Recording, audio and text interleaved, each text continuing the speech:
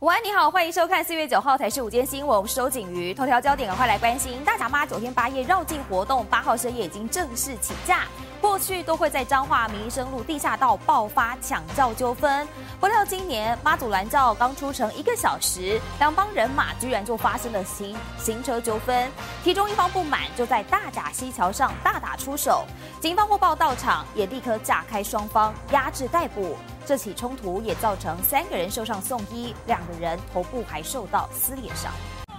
男子喝醉酒，不仅殴打女友，居然还大闹急诊室。这名男子为了要探视女友的伤势，不愿意好好戴口罩，直接硬闯医院的急诊室大闹，最后遭警方带回保护管束。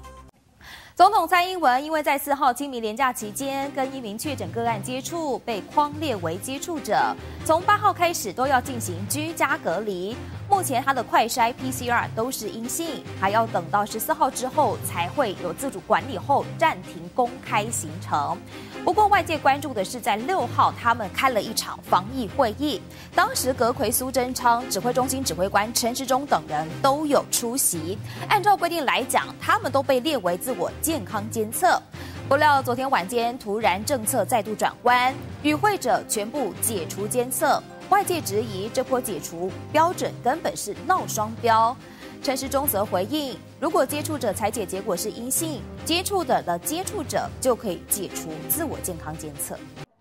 好，蔡总统日前跟确诊家人聚会，八号展开了十天居家隔离。但是现在有感染科专家认为，就算蔡总统一采丝阴性，也不能够太快放松，因为这次的病毒株 Omicron 潜伏期一般是三天。如果从开会又往前推三天，当时他的家人在发病之前的四到五天就已经具有传染力，也会有染疫风险。另外，PCR 检测也不能够排除胃阳性的可能，认为蔡总统应该要再裁剪一到两次比较安全。现在总统府在上午也有公布了最新消息，蔡总统在解隔离之前还会再进行两次检测，不会掉以轻心。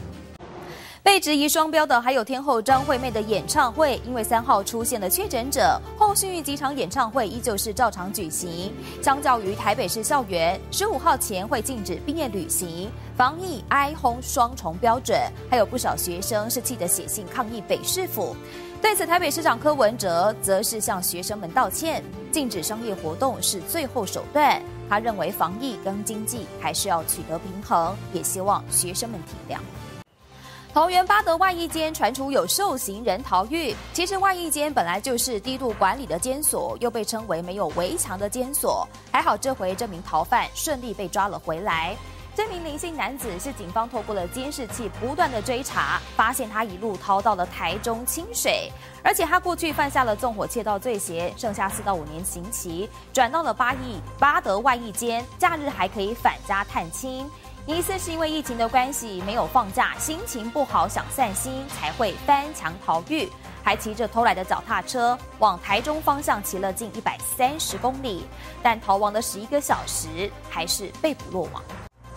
台中有一辆电动公车行经太平太提西路新人桥路口时，在转弯的时候后门不小心擦撞到路旁护栏，结果整辆车卡住，动弹不得，还找人把护栏给锯开，花了约两个多小时才排除事故。司机当下其实有一些尴尬，他说他是正要下班，把车子开回去，为了要闪避机车，转弯一下子转得太急，角度没有抓好，才会酿祸。头抢案，这是一名五十八岁的欧姓嫌犯。他一开始是在台中火车站拦下了一辆计程车，接着又说他要往雾峰，结果等到了这辆车开往比较偏僻的路段，居然就拿出了电击棒跟水果刀行抢，司机是被吓得仓皇逃跑，跑到了派出所报案。辖区员警获报后也展开围捕，一个小时之内顺利将人车逮捕。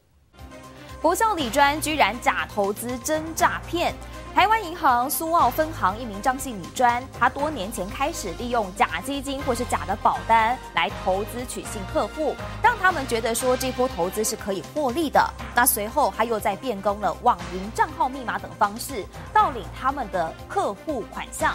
为了不让客户察觉，这名李专还会定期小额汇款，还标注这是基金配息取信被害人。经查，至少就有超过九个人受害，损失超过了上千万元。这名李专还逃亡超过一个月，因此被捕落网后，法官也认定他有涉嫌重大逃亡事实，裁定收押警戒。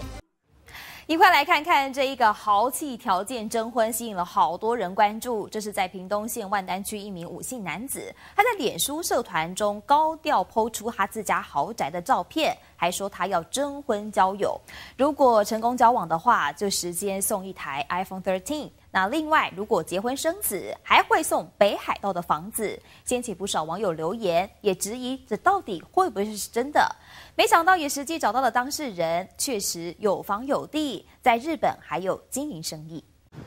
接下来带您关心天气。今年第一号台风马勒卡持续增强当中，气象局评估在下星期一可能会升格为中度台风。另外，菲律宾东方海面还有一个热带系统，在九号上午八点已经成为了热带性低气压。另一头在南海也观察到有环流发展当中，会不会形成三台共舞？气象局目前认为几率较小，会不会对台湾造成影响，也还要再观察。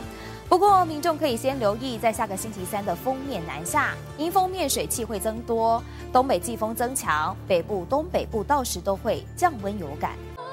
民生焦点来关心，行政院主计处公布三月份消费者物价总指数来到一百零六点三三，年增百分之三点二七，创下九年半以来的新高。其中外食费上涨百分之五点二六，更创下了一百五十九个月以来的最大涨幅。备受关注的十七项重要民生物资和油料费，其实也跟着上涨。以平均每个月消费支出约八万元的家庭来举例。每户家庭的平均支出会比去年同月份增加两千多元，那外食费支出还有油料费也都增加超过四百元。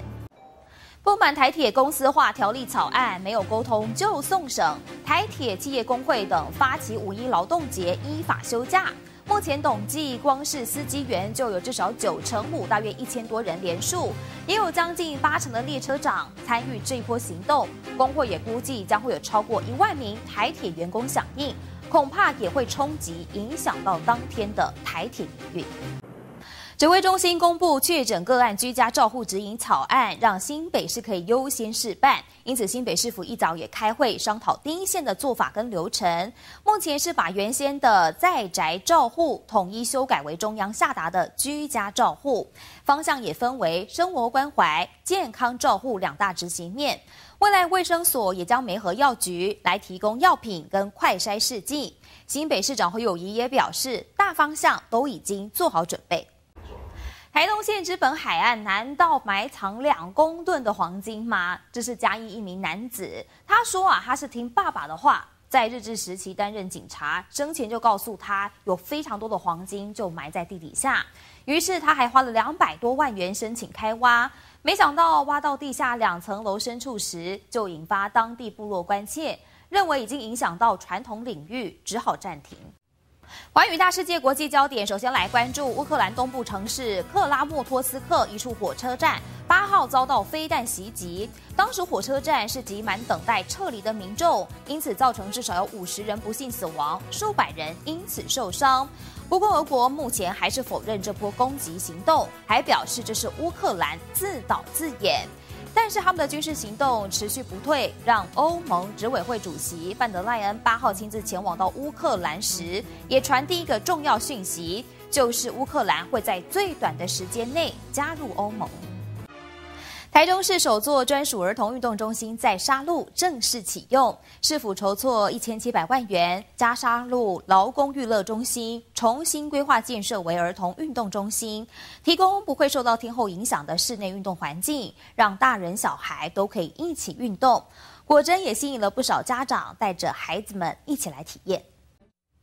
美国奥勒冈动物园在年初出生了一只白纹牛羚宝宝，近期第一次公开亮相，还在镜头前活蹦乱跳。现在最后带您快来看看它可爱的萌样。感谢您收看，我是周景瑜，祝您平安顺心，我们再会。